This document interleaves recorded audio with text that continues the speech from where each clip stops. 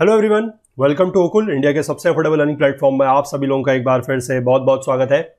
आइए अपने certificate physical and human geography GC लोगों के कोर्स को आगे बढ़ाएँगे। चैप्टर नाइन में हम लोग हैं, पिछले लेक्चर में हम लोगों ने इस चैप्टर को स्टार्ट किया है, जो कि लेक्स के ऊपर है, यानी कि तालाब के ऊपर है। पार्ट टू को लेकर आज हम इस चैप्टर की बात करेंगे, इस टॉपिक का लेक्स को लेकर। और अभी तक हमने काफ़ी सारे सारे टाइप्स के लेक्स के बारे में जो है वो डिस्कशन कर लिया है, ठीक है? कि जैसे ग्लेशियसन से लेक्स कैसे बनते हैं हमारे इरोजन अगर एक्टिविटीज़ होती है तो उससे लेक्स कैसे बनते हैं? इस तरीके की बहुत सारी चीज़ें हम लोगों ने डिस्कस की है। आज एक दो पार्ट हमें और बात करनी है कि लेक्स जो है वो डिपोजिशन से कैसे बनेंगे और बाकी ह्यूमन एक्टिविटीज़ से और बायोलॉजिकल एक्टिविटीज़ से भी कैसे लेक्स बनते हैं और बाकी ह्यूमन का और लेक्स का एक रिलेशन क्या हो सकता है या किस तरीके से हम कहें कि लेक्स हमारे लिए सिग्निफिकेंट है, वो हम बात जो है आज के लेक्चर में करेंगे।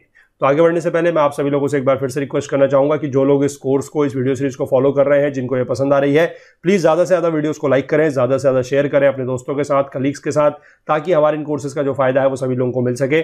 और बाकी जो लोग चैनल पर नए हैं, उनसे भी मैं रिक्वेस्ट करूँगा, अगर आप लोगों को कंसेप्ट पसंद आ रहा है, अगर आप लोगों को कंटेंट पसंद आ रहा है तो आप लोग भी चैनल को ज़रूर सब्सक्राइब कर लें और बेल आइकन प्रेस करना ना भूलिएगा ताकि हमारी तरफ़ से जब भी कोई वीडियो पोस्ट हो तो सबसे पहले उसका नोटिफिकेशन आपको मिल जाए। ठीक है? चलिए तो स्टार्ट करते हैं। आज का लेक्चर चलते हैं अपनी बुक की तरफ़। देखिए, आज हम बात करने वाले हैं लेक्स फॉर्म्ड बाय डिपोजिशन से। ठीक है? डिपोजिशन कैसे होगा? कि रिवर्स अपने साथ जो सेडिमेंट वगैरह लेके आएगी, उसको वो डिपॉजिट करेगी कहीं पर। मतलब in the of course in the lower course है ना? तो वहाँ पर कुछ इस तरीके के लेक्स वगैरह बनते हैं। देखते हैं पहले क्या है। सबसे पहला है lakes due to river deposits यानी कि जो रिवर डिपॉजिट्स कर रही हैं उसके through a river may shorten its course during a flood by cutting across its meandering loops leaving behind a horseshoe shaped channel as an oxbow lake ठीक है? और इस तरीके के लेक कहाँ पर पाए जाते हैं? जो हमारा लोअर मिसिसिपी रिवर है यूएसए में, उसके फ्लड प्लेन्स में and in the Rio Grande in Mexico यहाँ पर क्या लिखा गया है? अगर इस लाइन को आप पढ़ना चाहें या आप इस लाइन को अगर समझ गए हैं तो बहुत अच्छी बात है। अदरवाइज़ मैं इसको समझाऊँगा। कि इस तरीके के जो मींडर्स वगैरह फॉर्म होते हैं, ठीक है ना? जब रिवर का इस तरीके का मींडरिंग कोर्स वगैरह होता है तो जिस समय फ्लड आता है, उस समय क्या होता है कि यहाँ से नदी जो है, पानी ऐसे बह रहा है। जनरली कोर्स में पानी इस तरीके से बहेगा मींडर करते हुए। लेकिन जिस समय फ्लड आएगा तो ये पूरा का पूरा जो पानी है वो इस तरीके से ऐसे बहने लग जाएगा। और यहाँ से जो ये रीजन है, ये कट हो जाता है। ठीक? और यहाँ पर ये जो लेक बन जाएगा this is your oxbow lake ठीक? ये जो इस तरीके का लेक बनेगा this will be an oxbow lake oxbow lake क्यों बोलते हैं इसको? क्योंकि जो ऑक्स होता है, उसके बो मतलब जो उसका सींग होता है, उसकी तरह का शेप होता है, इसलिए इसका नाम दिया गया है ऑक्सबो लेक ठीक है? हम लोगों ने रिवर कोर्स में इसको बहुत अच्छे से डिटेल में पढ़ा है। तो यहाँ पर जो दिया गया, उसका मतलब ये है, मैंने आपको यहाँ पर समझा दिया। चलिए आगे देखते हैं। Lakes due to marine deposits ये तो रिवर डिपॉजिट्स की बात थी। अब कुछ मरीन डिपॉजिट से भी लेक बनता है, देखिए कैसे। The action of winds and waves may isolate lagoons along coast by building spits or bars ठीक है? कि जो लगून्स बनते हैं, उन लगून्स को जो है कि विंड्स और वेव्स क्या कर सकते हैं आइसोलेट कर सकते हैं। कैसे? बना सकते हैं स्पिट्स और बार्स ठीक है? स्पिट्स और बार्स क्या होता है, ये हम लोगों को पता है, ठीक है? ये हम लोगों ने पहले अपने फ़िज़िकल जोग्राफी कोर्स में देखा है तो आई होप कि आप लोग अगर वहाँ से कोर्सेज को फॉलो करते हुए आ रहे हैं तो आपको ये चीज़ें पता होंगी कि स्पिट्स और बार्स क्या होता है। As these lagoons of shallow water are enclosed only by a narrow spit of land comprising mud sand and shingle shingle क्या होता है? छोटे पेबल्स ठीक है? They may drain away at low tide ये क्या होगा कि ये शैलो होते हैं तो इसलिए ऐसा हो सकता है कि जब लो टाइड हो तो ये उस समय ड्रेन अवे हो जाए, यानी कि जो इनका रीजन है वो खत्म हो जाए, ठीक है? They are commonly found off the deltas of large river such as the Nile and the Ganges जो बड़ी नदियाँ हैं, उनका यहाँ पर डेल्टा फॉर्मेशन होता है। वहाँ पर इस तरह की चीज़ें देखी जाती हैं, जैसे कि नाइल नदी है या फिर जो गंगा है हमारी वो, ठीक है? In East Germany and Poland lagoons are called haffs East Germany में और पोलैंड में इस तरीके के जो लगून्स होते हैं, उनको हैप्स बोला जाता है, ठीक? Strong onshore winds are capable of pushing coastal sand dunes landwards and these may enclose marshy lagoons तो क्या होगा कि जो विंड है, ठीक है, या जो विंड है या जो वेव्स है, वो थोड़ा सा क्या करेगी, जो सैंड ड्यून्स है, यानी कि जो वहाँ पर रेत का एक तरीके से आप कहेंगे कि ढेर है कोस्टल एरिया में, ठीक है, तट में, उसको लैंडवर्ड पुश करेगी। और उससे क्या होगा कि थोड़ा सा वहाँ पर पानी आ जाएगा। ठीक है तो वहाँ पर एक मार्शी लगून से बन जाएँगे और एक तरीके से क्या है कि वहाँ पर दलदल सा थोड़ा सा जो है वो बन जाएगा। ठीक है? और इस तरीके के लगून जो है वो कहाँ पर पाए जाते हैं? वेल डेवलप्ड है in the Landes of south west France ठीक? चलिए, आगे देखते हैं। Lakes due to landslides screes and avalanche ठीक? लैंडस्लाइड मतलब भूस्खलन स्क्रीज मतलब जो इस तरीके के लैंडस्लाइड से जो छोटे मोटे पत्थर नीचे आके कंकर वगैरह होते हैं उनकी तरफ़ से। और एवलांचेस मतलब होता है हिमस्खलन ठीक है, जो बड़े बड़े ग्लेशियर्स अगर टूटते हैं तो उसकी तरह से जो मतलब जो कहते हैं हम हिल्स ऑफ़ ग्लेशियर जो ग्लेशियर का पहाड़ है, जब वो टूटता है, तब उसको बोला जाता है हिमस्खलन या एवलांचेस ठीक है?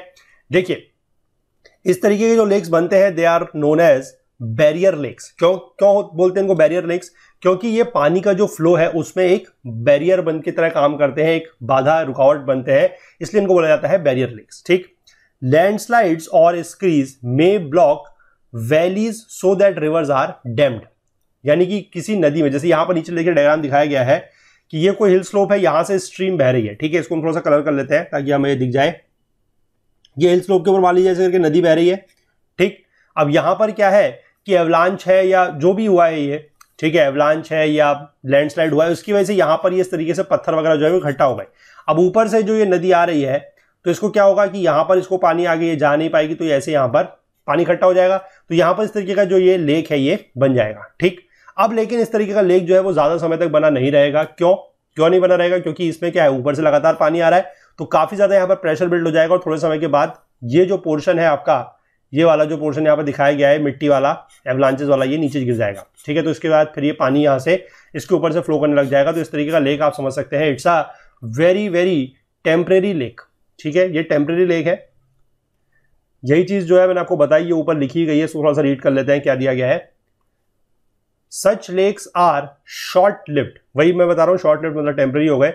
Because the loose fragments that pile across the valleys will soon give way under the pressure of water वही बात है कि ऊपर से जैसे जैसे पानी इसमें इकट्ठा होता जाएगा तो उसका प्रेशर बढ़ेगा। और प्रेशर बढ़ेगा तो ये जो यहाँ पर इस तरीके के ऑब्स्टिकल्स वगैरह हैं, ठीक है स्क्रीज लैंडस्लाइड डेवलांचे से जो भी ऑब्स्टिकल्स आए हैं इनके ऊपर ज़्यादा प्रेशर पड़ेगा और ये वैसे भी लूजली पैक्ड है। इनको कोई सीमेंट लगा के चिपकाया तो है नहीं। ठीक है, ये सिर्फ़ वहाँ पर इकट्ठा हुआ है। तो पानी के प्रेशर की वजह से ये नीचे चले जाएँगे। ठीक? When they suddenly give way the dammed water rushes down causing floods अब इससे नुकसान क्या होगा कि पहले तो ये सीधे नॉर्मली जो स्ट्रीम थी वो अपने आप हल्के हल्के बह रही थी तो इससे नीचे के जो एरिया थे लो लाइंग एरियाज़ वहाँ पर कोई भी नुकसान नहीं था। अब जब यहाँ पर इस तरीके का डैम बन गया, इस तरीके का लेक बन गया तो क्या होगा कि एकदम से, जैसे ही ये सारा का सारा यहाँ से ये मलबा हटेगा, ठीक है तो ये एकदम से पानी नीचे जाएगा और एकदम से पानी नीचे जाएगा तो वहाँ पर क्या आ जाएगी? बाढ़ आ जाएगी, ठीक है? और इस तरीके की बाढ़ जो है वो काफ़ी ज़्यादा नुकसानदायक ये लो लाइंग एरियाज़ के लिए होगी। यहाँ पर जान माल का काफ़ी नुकसान इससे हो सकता है। इस तरीके के लेक्स की जो एग्ज़ाम्पल दिए गए हैं that is your lake Gormire in Yorkshire blocked by landslides and फ्योनो in फ्रेच of in Snowdon blocked by screes ठीक है? चलिए तो ये आप दोनों टाइप के लेक समझ गए। जिस तरीके के डिपॉजिट्स की हमने बात करी मरीन डिपॉजिट्स हो सकते हैं they can be river deposits और they can be from the landslide screes और दी एवलांचेस ठीक है? इसके बाद हम बात कर लेते हैं lakes form by human and biological activities ठीक है? Man made lakes man made lakes आप सभी लोगों को पता है आर्टिफिशियल लेक्स वगैरह बनाए जाते हैं, ठीक है? तो besides the natural lakes man has now created artificial lakes by erecting a concrete dam across a river valley so that the river water can be kept back to form reservoirs ठीक है? इसका use जो है वो generally हम लोग देखते हैं कि हाइड्रो इलेक्ट्रिक पावर प्लांट में इसका यूज़ होता है ठीक है? बाकी रिक्रिएशनल पर्पसेस के लिए भी इसका यूज़ हो सकता है। तो मतलब ये एक तरीके का पूरा का पूरा इस तरीके का जो कंक्रीट uh, स्ट्रक्चर बना के बड़ा सा कंक्रीट डैम बना के वहाँ पर पानी इकट्ठा किया जाता है that is becomes your reservoir जैसे यहाँ पर ये डायग्राम में दिखाया भी गया है ठीक है ना? कि इस तरीके का यहाँ पर कोई रिवर है और यहाँ पर इस तरीके का डैम बना दिया गया है। और इससे क्या है कि ये जो नदी आ रही थी, यहाँ पर पूरा का पूरा ये रिजर्वायर बन जाएगा ऐसे करके, ठीक है? इसके बाद अगला देख लीजिए। अच्छा इसमें कुछ एग्ज़ाम्पल भी दिए गए हैं कि among such man made lakes the most imposing is lake Mead above the Hoover dam on the Colorado river of USA ठीक है? इसके बाद एनिमल्स द्वारा लेक बनाने की जो प्रोसेस है, ये काफ़ी ज़्यादा इंटरेस्टिंग है, ठीक है? एक एनिमल का नाम यहाँ पे दिया गया है दैट इज़ योर बीवर्स ठीक है? बीवर जनरली तो जो है ये, अगर हम इसकी बात करें तो ये रोडेंट है। रोडेंट क्या होता है? जो कुतरने वाले होते हैं, यानी कि जैसे कि चूहा, ठीक है? लेकिन ये थोड़ा सा बड़ा है, ठीक है? अगर आप इसको जाके इंटरनेट पर ढूंढेंगे तो आप देखेंगे ये काफ़ी बड़ा है। जैसे यहाँ पर लिखा गया है कि animals like beaver are particularly interesting तो ये वाकई में बहुत इंटरेस्टिंग है, ठीक है? इसकी मैं आपको अगर बात बताऊँ तो ये बड़े से बड़ा जो पेड़ होता है, ठीक है? जो मोटे से मोटा जो पेड़ होता है, जिसका तना काफ़ी मोटा होता है, ये उसको भी अपने दांत से पूरा का पूरा गिराने की क्षमता रखता है। ये उसको बहुत ही आराम से, बहुत ही पेशेंस के साथ उसको थोड़ा थोड़ा कुतरता रहता है और कुतरने के बाद उसको ये आधे से आधा काट देता है पेड़ को, ठीक है? उसके बाद फिर क्या होगा कि पेड़ जो है वो जब विंड आएगी, जब तेज हवा चलेगी तो वो पेड़ अपना गिर जाएगा। जैसे मान लीजिए ये पेड़ है तो ये क्या करेगा कि इस पेड़ को ऐसे करके यहाँ से ऐसे कुतरेगा, ठीक है? धीमे धीमे धीमे धीमे धीमे करके इतना कुतर देगा, इतना तो ये पेड़ फिर केवल इतना बच जाएगा और बाकी अगर इसमें कभी तेज विंड आएगी, बड़े से पेड़ होंगे तो ये फिर पेड़ इस तरीके से यहाँ से नीचे गिर जाएगा, ठीक है? ये काफ़ी एक इंपॉर्टेंट जो है एनिमल है इस तरीके का। है होने को रोडेंट फैमिली का है लेकिन थोड़ा सा बड़ा होता है। ठीक है? अब ये क्या करते हैं? उसके बाद जो ये पेड़ गिरते हैं, उन पेड़ को ये छोटे मोटे पेड़ के जो तने वगैरह हैं, उनको उठा के ले जाते हैं। ठीक है? ये उसमें फिर क्या कहते हैं, जो मिट्टी जो मिट्टी आई होती है, जैसे नदी होगी, ठीक है? नदी में लेक लेक बन रहा है तो वहाँ पर क्या होगा कि नदी अगर बह रही है तो उसमें नीचे सेडिमेंटेशन वगैरह होगा। ये उस सेडिमेंटेशन को उठा के ले जाते हैं, उस तरीके से पूरा मतलब सीमेंटिंग का जैसे काम करते हैं, वैसे किया जाता है लॉग्स फंसाते हैं लकड़ी के। तो ये काफ़ी मतलब बिल्कुल एक बढ़िया करके जो आप डैम होता है, ठीक है? मतलब जितने भी ये कैपेसिटी में डैम बना सकते हैं, उतना ये बिल्कुल बढ़िया डैम बनाते हैं, ठीक है? तो आप जाके एक बार इसको इंटरनेट में ज़रूर देखिएगा कि how does beaver make the dam या फिर आप सिर्फ़ बीवर भी अगर सर्च करेंगे तो वहाँ पर भी आपको सबसे इंटरेस्टिंग इसकी चीज़ यही है कि ये किस तरीके से डैम्स बनाते हैं, वो आपको वहाँ पर वीडियो मिल जाएगा, ठीक है? काफ़ी इंटरेस्टिंग वो वीडियो है, आप लोग ज़रूर जाके उसको देखिएगा एक बार। ठीक है सिर्फ़ बीवर सर्च करिएगा आपको ये डैम किस तरीके से बनाते हैं, वही चीज़ वहाँ पर दिखाई देगी। तो they live in communities and construct dams across the rivers with timber ठीक है, लकड़ी से ही मैंने बताया किस तरीके से लकड़ी वगैरह लेके आते हैं। ये पूरा का पूरा पेड़ काट सकते हैं कम्युनिटीज में रहते हैं, और इनकी जो पूरी की पूरी फैमिली होती है, ठीक है, वो सभी जो है इस काम में हिस्सा लेते हैं, सभी इस काम में पार्टिसिपेट करते हैं ऑफ़ डैम मेकिंग और इस तरीके के जो बीवर डैम्स होते हैं they are quite permanent and are found in North America example the beaver lake in Yellowstone national park of USA Yellowstone national park की बात हम लोगों ने एक दिन और भी की थी, जहाँ पर हम लोग बात कर रहे थे अबाउट द गीजर है ना? जहाँ पर हम लोगों ने ओल्ड फेथफुल की बात की थी ओल्ड फेथफुल गीजर की, है ना? तो वहीं पर यहाँ जो है, एक इस तरह का बीवर लेक भी देखने को मिलता है, ठीक? इसके बाद यहाँ पर कुछ अदर टाइप ऑफ़ लेक्स की बात की गई है कि these include ornamental lakes specially made to attract tourist example lake gardens Kuala Lumpur Taiping lakes ठीक है? मतलब ये बेसिकली इस तरीके के लेक्स हैं जो बनाए जाते हैं, ठीक है? जो सुंदर बनाए जाते हैं ताकि वो पर्यटकों को लुभा सकें, ठीक है? पर्यटन के लिए टूरिज़्म के लिए बनाए जाते हैं। Man's mining activities example the tin mining in West Malaysia have created numerous lakes ठीक है? माइनिंग एक्टिविटी से भी लेक बनते हैं। उसके बाद inland fish culture has necessitated the creation of many fishing lakes काफ़ी सारे लेक्स वगैरह जो है वो फ़िश कल्चर यानी कि मछली पालन के लिए जिसको बोला जाता है, मत्स्य पालन के लिए उसके लिए भी लेक्स जो है वो बनाए जाते हैं। ठीक? तो ये तो सारे के सारे लेक्स की फॉर्मेशन वगैरह के बारे में बात हो गई। जिस टॉपिक को हमने कल स्टार्ट किया था, वो आज यहाँ पर कंप्लीट हो गया है। इसके बाद इसमें दिया गया है लेक्स एंड मैन ठीक है? मतलब कि लेक्स जो है वो हमारे लिए ह्यूमैनिटी के लिए, मानव के लिए किस तरीके से सिग्निफिकेंट है। ठीक है? चलिए देखते हैं इसको।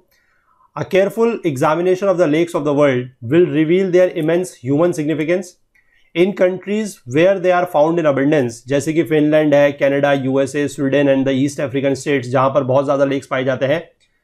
Together with other inland waterways have played a dominant role in the human economic social and cultural life of the people ठीक है? यानी कि लोगों की जो आर्थिक ज़िंदगी है, जो उनकी सामाजिक ज़िंदगी है, उसमें ये जो है अपना रोल प्ले करते हैं। The pattern of settlement commerce and communication is very closely related to the distribution of the water features ये बात हमने पहले भी समझी है कि पानी का होना बहुत ज़्यादा ज़रूरी है, क्योंकि पानी अगर होगा किसी भी रीजन में तो उसके आसपास फिर आपको एग्रीकल्चर देखने को मिलेगा, उसके आसपास आपको ह्यूमन सेटलमेंट्स देखने को मिलेगा। तो इसलिए जो पानी का पूरा का पूरा डिस्ट्रीब्यूशन है, जो वाटर फीचर्स का डिस्ट्रीब्यूशन है, उसी से सब चीज़ें जो है सेटलमेंट होगा कॉमर्स क्या तरीके का होगा कम्युनिकेशन किस तरीके का होगा, ये सारी चीज़ें उस पर डिपेंड करती है। ठीक? तो इसके बाद हम यहाँ पर स्टार्ट कर लेते हैं एक एक करके जो भी यहाँ पर फीचर्स दिए गए हैं या मेजर यूजेस ऑफ़ लेक्स दिए गए हैं। सबसे पहला है मीन्स ऑफ़ कम्युनिकेशन ठीक? लार्ज लेक्स जैसे कि the Great Lakes of North America provide a cheap and convenient form of transport ठीक है? इसको ट्रांसपोर्ट के लिए यूज़ किया जाता है for heavy and bulky goods जैसे कि कोल यानी कि कोयला है आयरन है मशीनरी ग्रेन्स एंड टिम्बर ये इन सबका ट्रांसपोर्टेशन इसके थ्रू किया जाता है। The Great Lakes Saint Lawrence waterways penetrates more than 1700 miles into the interior ठीक है, काफ़ी लंबा है ये। They are thus used as the chief arteries of commerce तो मतलब इनको कॉमर्स के लिए, यानी कि हम कह सकते हैं वाणिज्य के लिए जो है यूज़ किया जाता है, इस तरीके का ट्रांसपोर्टेशन वगैरह जो हमारे कॉमर्शियल चीज़ें हैं। ठीक है, यानी कि प्राइवेट नहीं है कॉमर्शियल यानी कि इंडस्ट्रियल चीज़ों के लिए इसका जो है ट्रांसपोर्टेशन इसके थ्रू किया जाता है। It is estimated that the annual tonnage passing through the Sault Ste Marie canal और the Soo canal between Lake Huron and Lake Superior is greater than the combined annual tonnage of the Suez and the Panama canals ठीक है Suez और Panama canal से इसका comparison इसलिए किया गया है क्योंकि they are very one of the most important sea routes ठीक है, या हम कहेंगे कि मोस्ट इंपॉर्टेंट ट्रेड रूट्स हैं ये, जिनके थ्रू पूरे के पूरे वर्ल्ड में जो है ट्रेड किया जाता है। पनामा कैनाल आप लोगों को पता होगा जहाँ पर अटलांटिक और पैसिफिक ओशन है। बीच में जो सेंट्रल अमेरिका का रीजन है पनामा जहाँ पर कंट्री है, उसके बीच में इस तरह की कनाल बनाई गई है। और स्वेज कैनाल अगर आप लोग जाके देखेंगे तो आपको ऊपर दिखाई देगी जो हमारा अफ्रीका का पार्ट और जो एशिया का पार्ट है, उसके बीच में जहाँ पर मेडिटेरेनियन सी और जो रेड सी से मिलता है that is your Suez canal ठीक है? इसको लेकर हम लोगों ने अपने जोग्राफी के कोर्सेज में अच्छे से बात भी की है, जिस तरीके से हमारी पेनामा कैनाल स्वेज कैनाल में जो लॉक सिस्टम वगैरह है, उनको भी लेकर हम लोगों ने अच्छे से बात की है। ठीक है? कि जिस तरीके से चीज़ें हैं तो ये वही यहाँ पर बोला गया है कि जो टनेज कैपेसिटी है मतलब एक तरीके से हम बात करें कि इन लेक्स की जो सिग्निफिकेंस दिखाई गई है कि ये कम्युनिकेशन में या ट्रांसपोर्टेशन में कितना ज़्यादा यूज़ होते हैं, कि इनकी जो टनेज कैपेसिटी है। टनेज कैपेसिटी का मतलब होता है कि कितना इनके थ्रू जो है सामान ट्रेवल कर रहा है, ठीक? तो एनुअल टनेज जो है, इस तरीके की जो कैनाल्स वगैरह यहाँ पर दी गई है, उनकी स्वेज कैनाल और पैनामा कैनाल से भी ज़्यादा है, ठीक? इसके बाद इकोनॉमिक और इंडस्ट्रियल डेवलपमेंट की बात कर लेते हैं। Early settlements and town sites were very much influenced by the presence of lakes ठीक है? जो पुराने सेटलमेंट्स हुआ करते थे, जो टाउन्स हुआ करते थे, वो लेक्स की प्रेजेंस से बहुत ज़्यादा क्या होते थे? प्रभावित होते थे इन्फ्लुएंस होते थे। Lakes are an even more decisive factor when they are drained by large river with outlets to the sea ठीक है? और लेक्स जो है, वो और भी ज़्यादा इंपॉर्टेंट हो जाते हैं जब वो बड़ी नदियों के द्वारा ड्रेन किए जा रहे हो, ठीक है? जिनका आउटलेट कहाँ है? सी पे। The Great Lakes Saint Lawrence waterways were responsible for the development of the interior wheat farms and lake side industries ठीक है? वही मैं बता रहा हूँ कि जहाँ पर पानी वगैरह होगा, वहाँ पर क्या है कि इस तरीके के वीट फार्म्स वगैरह बने हैं लेक साइड इंडस्ट्रीज़ वगैरह बनी है। Then raw materials minerals and fuels were economically handled and assembled in the homes ये होम्स आपका जो होम घर है वाला होम नहीं है। इसका मतलब क्या है? ये होम्स डिस्ट्रिक्ट है that is Lake Huron Ontario Michigan Erie and Superior पूरी की पूरी यूएस की बात यहाँ पर की गई है which has since become one of the greatest industrial district of the world ठीक है, ये बहुत ज़्यादा इंडस्ट्रियल डिस्ट्रिक्ट बन चुके हैं। Similarly lakes Poyang Tungting and other lakes of the central Yangtze basin have greatly assisted in the commercial and industrial development of Wuhan that is Wuchang Hanyang and Hong Kong ठीक है? Wuhan को तो सभी लोग अब जानते ही हैं, ठीक है? तो यहाँ पर इस तरीके के लेक्स का यूज़ होता है। इसके बाद वाटर स्टोरेज वाटर स्टोरेज कैसे देखिए? लेक्स ऑफ़ आइदर नेचुरल और artificial origin are vital sources of domestic water supply to surrounding towns and industrial cities ठीक है, इस तरीके के जो आर्टिफिशियल लेक्स हैं नेचुरल लेक्स हैं, इनके थ्रू घरों में जो है पानी की सप्लाई होती है। ठीक है वाटर सप्लाई जो है डोमेस्टिक सप्लाई टाउन्स में सराउंडिंग जो आसपास के टाउन्स हैं, जो इंडस्ट्रियल सिटीज़ है, वहाँ पर। जैसे कि लेक ब्रिटेन जो है Thirlmere supplies water to Manchester Loch Katrine to Glasgow lake Winery to Liverpool The Okhla Reservoir supplies to Delhi and the Vetarna Vihar and Tulsi lake supply to Bombay, ठीक है? इस तरीके के जो है आसपास के शहरों में, इस तरीके का पानी का जो है वितरण या डिस्ट्रीब्यूशन जो है वो होता है। इसके बाद हाइड्रो इलेक्ट्रिक पावर जनरेशन के लिए भी लेक्स का यूज़ होता है। ये तो ऑब्वियसली बात है, आप लोगों को पता भी होगा। In the mountainous districts lakes और manmade reservoirs are used to furnish a good head of water to generate hydroelectric power head of water का मतलब होता है कि पानी की हाइट इकट्ठा करनी है। क्यों? क्योंकि हाइड्रोइलेक्ट्रिक पावर को कैसे जनरेट किया जाता है? उसमें टर्बाइन चलानी पड़ती है। और टर्बाइन की जो ब्लेड्स हैं उसके ऊपर आपको काफ़ी हाइट से जो है पानी फ्लो कराना पड़ता है, क्योंकि उसमें एक तरीके से हम अगर जिसे थोड़ा बहुत अगर किसी को साइंस का या इंजीनियरिंग का आइडिया है तो वहाँ पर उन लोगों को ये चीज़ें पता होंगी कि there is kind of energy mechanical energy होती है जिसमें पोटेंशियल एनर्जी और काइनेटिक एनर्जी होती है, ठीक है? तो पोटेंशियल एनर्जी का एनर्जी वो होती है जो हाइट के कारण होती है और काइनेटिक एनर्जी वो होती है जो मोशन के कारण होती है, ठीक? तो यहाँ पर बेसिकली क्या होता है हाइड्रोइलेक्ट्रिक पावर का जो कंसेप्ट है वो ये है कि potential energy of the water is converted into the kinetic energy of the turbine blades ठीक? तो इसीलिए ये हेड की ज़रूरत जो है पड़ती है, यानी कि ज़्यादा हाइट तक का पानी चाहिए। उसको अगर हम टर्बाइन के ऊपर डालेंगे तो क्या होगा? Potential energy will be converted into mechanical energy और जितना ज़्यादा हेड होगा, उतनी ज़्यादा पोटेंशियल एनर्जी होगी, और जितनी ज़्यादा पोटेंशियल एनर्जी होगी, उतनी ज़्यादा ही वो काइनेटिक एनर्जी में कन्वर्ट होगी, क्योंकि हमें पता है कि energy is neither created not destroyed it can only be transform from one form to the other तो पोटेंशियल का कन्वर्जन यहाँ पर होगा काइनेटिक में. जितनी ज़्यादा पोटेंशियल एनर्जी होगी, उतनी ज़्यादा काइनेटिक एनर्जी होगी, और जितनी ज़्यादा पोटेंशियल एनर्जी होगी, वो कहाँ से आएगी? जितना ज़्यादा हेड होगा. तो इसीलिए यहाँ पर बोला गया है कि गुड हेड ऑफ़ वाटर ठीक? नेचुरल लेक्स जो है वो प्रिफर किए जाते हैं to artificial reservoirs because the volume of water that flows from them varies very little throughout the year ठीक है? नेचुरल लेक्स जो है, उनको ज़्यादा वरीयता दी जाती है या उनको ज़्यादा प्रेफर किया जाता है। क्यों? क्योंकि उनमें से लगभग लगभग क्या होता है कि सालाना तौर पर, यानी कि साल भर अगर हम बात करें तो लगभग उसमें से बराबर पानी जो है वो आता है। वेरिएशन जो है वो बहुत कम है। जैसे कि यहाँ पर एग्ज़ाम्पल के तौर पर दिया गया है the Niagara river flowing from Lake Erie to Lake Ontario has a very regular supply of water for its power station ठीक? मतलब उसमें से पानी जो है लगातार जाएगा और पानी अगर रेगुलर सप्लाई होगी तो उससे क्या फ़ायदा है? उससे यह फ़ायदा है कि बराबर इलेक्ट्रिसिटी बन पाएगी। मतलब ऐसा नहीं होगा कि कभी अगर इलेक्ट्रिसिटी बन रही है, कभी पानी नहीं है तो फिर टर्बाइन नहीं चल पाएगी तो फिर इलेक्ट्रिसिटी नहीं बनेगी। तो ये चीज़ नहीं होगी। रेगुलरिटी वहाँ पर नहीं आएगी। लेकिन एग्ज़ाम्पल के तौर पर एक और दिया गया है that is your Catawba river in the Carolinas which does not flow from a lake has very little water during the dry season अब ये जो है, ये इस तरीके की रिवर है जो किसी लेक से फ्लो नहीं करती तो इसमें ड्राई सीज़न में जो है पानी बहुत कम है। क्योंकि एक तरीके से आप कह सकते हैं, फिर ये रेनफेड होगी, यानी कि इसमें जब बारिश होती है तब पानी होगा और जब ड्राई सीज़न है तो इसमें पानी नहीं है। तो इस वजह से क्या दिक्कत होगी कि इस तरीके के रिवर पर आप जो है डिपेंड नहीं कर सकते किसके लिए?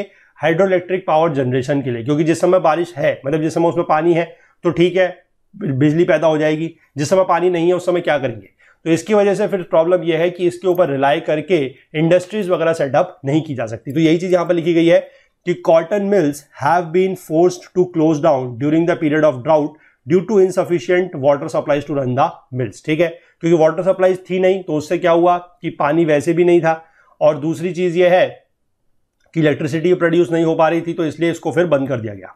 The Aswan dam on the Nile in Egypt and the Lloyd barrage on the Indus at Sukkur suffers from similar defects तो इस तरह की चीज़ें जो है वो और जगह को भी देखने में मिलती है। The Abu Bakar dam of the Cameron highland supplies much hydroelectricity for central west Malaysia. तो वही बात है जहाँ पर पानी की रेगुलर सप्लाई है, वहाँ पर इस तरीके के डैम्स वगैरह काफ़ी ज़्यादा सक्सेसफुल है और जहाँ पर नहीं है, जहाँ पर इरेगुलर वाटर सप्लाई है या पानी जो है वो रेनफेड है, जो रेनफेड रिवर्स है या रेनफेड लेक्स है तो वहाँ पर फिर इस तरीके की प्रॉब्लम जो है वो आएँगी।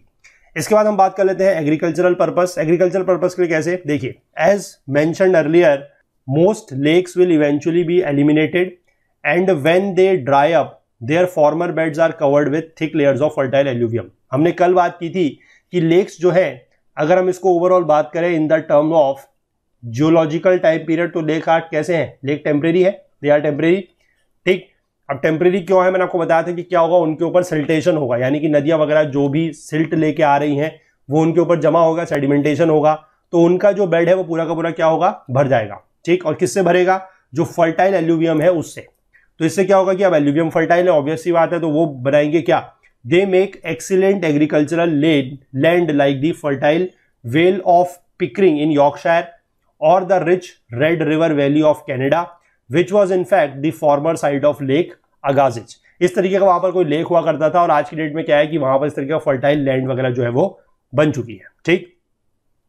इसके बाद modern multipurpose dams besides generating hydroelectric power supply also supply water for irrigation ठीक है? अब जो ये हम बात कर रहे थे हाइड्रो इलेक्ट्रिक पावर सप्लाई के लिए जो डैम बनाया जाता है हाइड्रो इलेक्ट्रिक पावर प्लांट तो उसमें पानी एक तो डैम के लिए तो है ही है मतलब बिजली तो पैदा करेगा ही वो, और साथ साथ जो है उसका पानी इरिगेशन पर्पज के लिए भी यूज़ किया जाता है। जैसे कि एग्ज़ाम्पल के तौर पर दिया गया है the Sennar dam on the Blue Nile in Sudan the Burrinjuck dam in the Murrumbidgee in Australia and the Hirakud dam on the Mahanadi in India ठीक है? हीराकुंड डैम को इसने मध्य प्रदेश लिखा हुआ है। क्या ये सही है? आप मुझे बताएँगे, ठीक है? क्योंकि हम लोग पहले इंडिया के बारे में, नदियों के बारे में बहुत अच्छे से डिटेल में डिस्कस कर चुके हैं। महानदी नदी, हमें पता है कि महानदी एक ऐसी नदी है जो उड़ीसा के रीजन में ज़्यादा बहती है। तो आप मुझे बताएँगे, क्या हीराकुंड डैम मध्य प्रदेश में है? क्या इस बुक में सही लिखा गया है या नहीं लिखा गया है? ठीक है? या आप मुझे ज़रूर बताएँगे, क्योंकि चीज़ें हम लोग पहले से डिस्कस करते चल रहे हैं। हालाँकि इस बुक का कोर्स अलग चल रहा है, लेकिन आप लोग एनसीईआरटी भी ज़रूर पढ़े हैं पहले।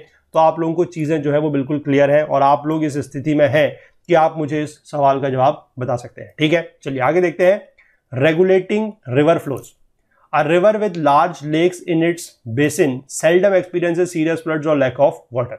यानी कि कोई भी अगर नदी जो है, अगर उसके रास्ते में कहीं पर कोई बड़ा सा तालाब पड़ता है तो उस पर कभी भी आप देखिएगा कि बाढ़ नहीं आएगी और उसमें कभी पानी की कमी भी नहीं होगी। क्यों? क्योंकि जिस समय हैवी रेन हो रही है तो उस समय क्या करेगा, वो लेक जो है, वो एक्सेस वाटर को एब्जॉर्ब कर लेगा, ठीक? तो उससे क्या होगा कि lake reduces the effect of serious flooding downstream तो उससे क्या आएगी, नीचे के एरिया में बाढ़ वगैरह नहीं आएगी। और जिस समय ड्राई सीज़न होगा, उस समय वो एक्सेस वाटर को रिलीज़ कर देगा, ताकि रिवर का जो स्टडी फ्लो है, वो मेंटेन रहे, यानी कि रिवर में पानी की कमी ना आए। Because lake retain part of the sediment load rivers leaving lakes have clear water एक और फ़ायदा है कि अगर रास्ते में कोई तरीके का लेक पड़ता है तो उसमें क्या है कि जो सेडिमेंट रिवर लेके आ रही है थोड़ा बहुत वो सेडिमेंट जो है लेक में भी सेटल डाउन हो जाएगा। तो उससे क्या है कि जो इस तरीके की रिवर है जो लेक के पार करके निकल रही है उसका पानी भी थोड़ा सा कैसा होगा? साफ़ होगा। Lakes that have such functions include the Poyang and Tungting on the Yangtze Kiang, the Tonle Sap on a tributary of the Mekong, the Lake Constance on the Upper Rhine. ठीक है ये एग्ज़ाम्पल दिए गए हैं जहाँ पर इस तरह के फिनोमिनाज देखने को मिलते हैं। और जहाँ पर इस तरीके के लेक्स अवेलेबल नहीं है and flooding is a serious problem और फ्लड की समस्या बहुत ज़्यादा आती है तो वहाँ पर आर्टिफिशियल रिजर्वायर्स जो है वो बनाए गए हैं, जैसे कि the Hoover dam on the river Colorado and the Bhakra Nangal dam on the Sutlej in India ठीक? चलिए, इसके बाद आगे देख लेते हैं मॉडरेशन ऑफ़ क्लाइमेट ये मॉडरेशन ऑफ़ क्लाइमेट वैसे मुझे समझाने की ज़रूरत आप लोगों को नहीं है, क्योंकि पहले हम लोग ये चीज़ें बात कर चुके और ये लोग, ये चीज़ हम बहुत अच्छे से समझते भी हैं, कि जहाँ पर भी पानी होता है, वहाँ पर क्लाइमेट एक्सट्रीम नहीं होता, ठीक है? जैसे एग्ज़ाम्पल के तौर पर अगर हम कोस्टल रीजन की बात कर लें, अगर इंडिया की ही बात कर लें तो इंडिया में एक प्लेस आप ले लीजिए दिल्ली और दूसरी प्लेस आप ले लीजिए मुंबई ठीक है? मुंबई आपको पता है कि समुद्र के पास है तो वहाँ पर टेम्परेचर आप देखेंगे कि जो डायरनल टेम्परेचर है, वो भी बहुत ज़्यादा फ़र्क नहीं पड़ता और जो एनुअल टेम्परेचर है, उसमें भी बहुत ज़्यादा फ़र्क नहीं पड़ता। और सिमिलरली अगर हम दिल्ली की बात करें तो वहाँ पर एनुअल टेम्परेचर में बहुत ज़्यादा वेरिएशन देखने को मिलता है, ठीक है? ये चीज़ हमें पता है। तो यही चीज़ यहाँ पर भी लिखी गई है।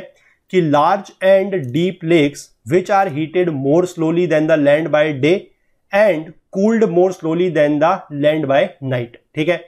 Exercise and appreciable effect in moderating the climate of a region in the same way as ocean effects effect adjoining land masses वही है, जिस तरीके से ओशियंस इफ़ेक्ट डालते हैं, उसी तरीके से ये भी लेक्स डालते हैं बट शर्त यह है कि लेक्स जो है वो थोड़ा सा बड़े होने चाहिए या फिर डीप होने चाहिए। यानी कि आप कहेंगे कि उन लेक्स में पानी जो है वो ज़्यादा होना चाहिए। अगर लेक्स में पानी कम होगा, छोटे लेक्स होंगे तो उनसे फिर इस तरीके का मॉडरेटिंग इफ़ेक्ट जो है वो नहीं आएगा। ठीक? अब जो वाटर इन द लेक्स है वो क्या करेगा? वो एयर को, जो आसपास की जो एयर है उसको गर्मियों में ठंडा कर देगा by absorbing part of the heat और सर्दियों में वो उसको गर्म कर देगा बाय रिलीजिंग द हीट ठीक है? जैसे एग्ज़ाम्पल के तौर पर दिया गया है the eastern shores of Lake Erie Ontario and Huron have a much milder winter than those of the west ठीक? यानी कि वेस्ट साइड में जो इसके जगह है, वहाँ पर सर्दियाँ काफ़ी ज़्यादा एक्सट्रीम होती है और जो इसके ईस्टर्न साइड में लेक है, उसकी वजह से मतलब ईस्टर्न साइड में जो भी जगह है, वहाँ पर विंटर्स काफ़ी माइल्ड होते हैं। यानी कि वहाँ पर बहुत ज़्यादा सर्दी नहीं पड़ती। Because of the oncoming breezes are warm and early frost are minimize ठीक है? This part of the lake peninsula is therefore important for grapes and fruit farming इसके बाद large lakes like Lake Michigan and the Caspian sea also exert a slight influence on the cloudiness and precipitation of the region ठीक है cloudiness और precipitation पे भी कैसे असर पड़ेगा कि अगर मान लीजिए कोई ऐसा रीजन है जहाँ पर पानी ज़्यादा है तो वहाँ पर क्या होगा? इवेपोरेशन ज़्यादा होगा। और इवेपोरेशन ज़्यादा होगा तो जो ऊपर की तरफ़ को जो विंड जाएगी, उसमें ज़्यादा पानी होगा तो ऊपर जाके जब उसका टेम्परेचर कम होगा तो वहाँ पर प्रेसिपिटेशन ज़्यादा होगा। ठीक है? Their large expanse of water act almost like part of the ocean and helps to precipitate atmospheric moisture into the rain ठीक है?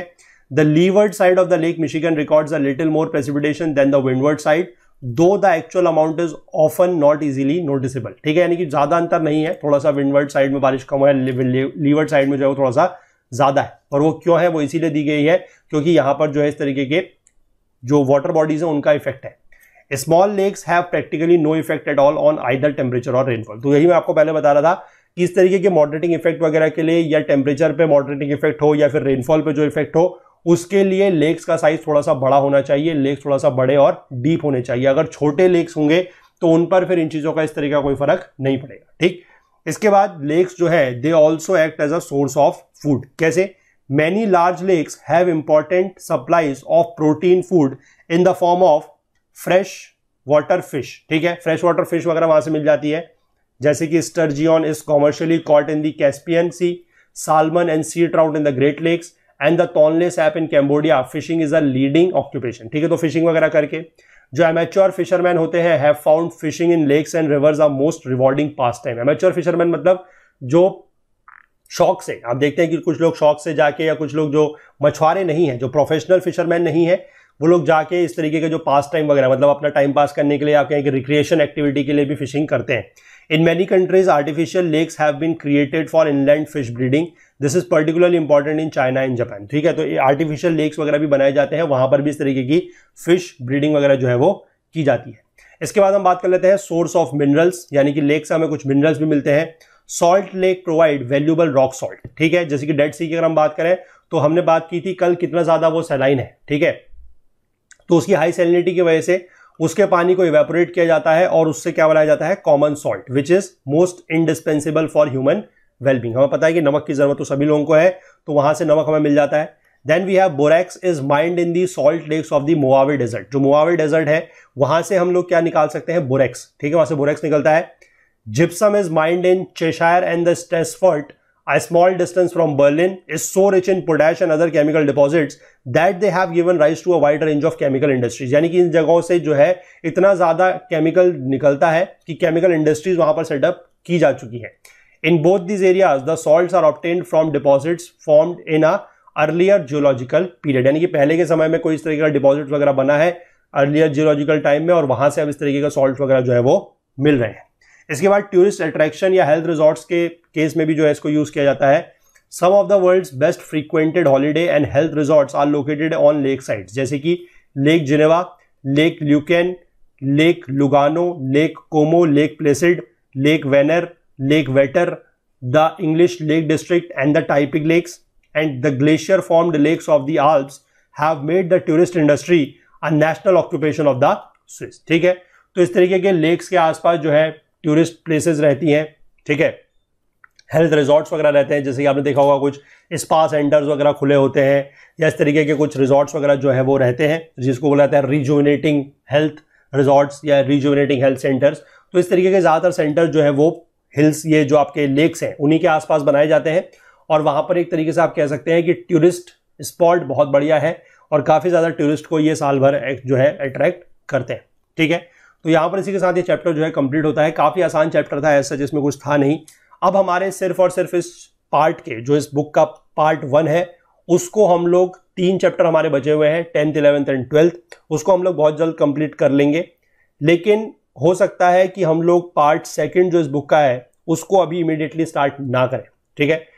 क्योंकि from the past quite a long time इस बुक का या जो सीरीज़ ये चल रही है, इसमें बहुत ज़्यादा ओवरवेलमिंग रिस्पॉन्स आप लोगों का हमें नहीं मिल रहा है। हालाँकि ये बुक जो है, आप लोगों की ही भारी डिमांड पर जो है स्टार्ट की गई थी।